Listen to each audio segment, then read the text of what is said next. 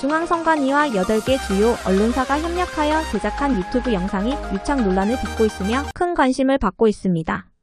언론의 윤리와 역할에 대한 논란이 된 이 영상은 언론과 감시대상 간의 유착 문제를 불러일으켰습니다.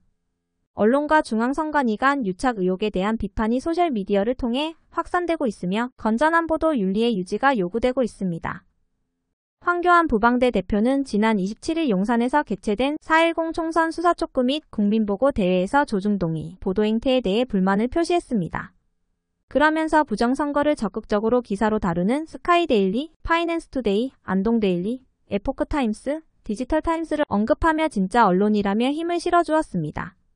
그러나 아쉬운 점은 중앙선관위와 8개 언론사의 유착관계에 대한 언급이 없었다는 점과 조중동이 언론으로서의 사명감을 스스로 저버린 행위에 대한 언급. 그리고 언론 스스로가 중립성을 중대하게 훼손하고 있다는 점과 그것이 자유민주주의 사회에 얼마나 악영향을 미치는지에 대한 신랄한 비판이 없었다는 점입니다.